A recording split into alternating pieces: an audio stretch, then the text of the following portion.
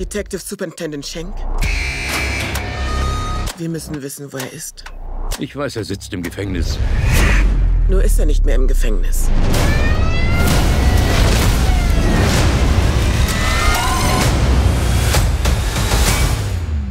Natürlich nicht. Sie haben versprochen, dass Sie mir helfen würden.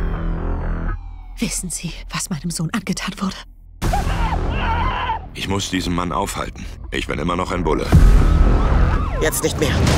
Und wenn Sie sich weigern zu kooperieren, erschießt die taktische Einheit Sie.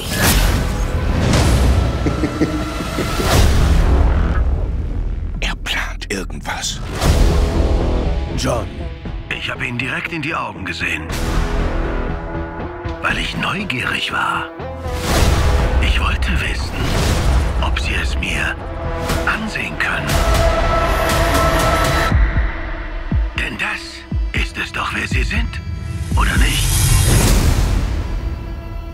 Mann, der alles weiß über Menschen wie mich.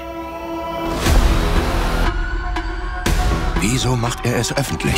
Er will, dass die Welt glaubt, er sei ein wahr gewordener Albtraum. 20 darauf, dass ich ihn kriege, bevor sie mich kriegen. Sagen wir 50. Ich kenne diesen Mann. Ich kann damit leben, was sein muss. Nehmen Sie mich jetzt wahr? Ich habe meinen Spaß. Soll der Albtraum beginnen? Denn ich bin bereit.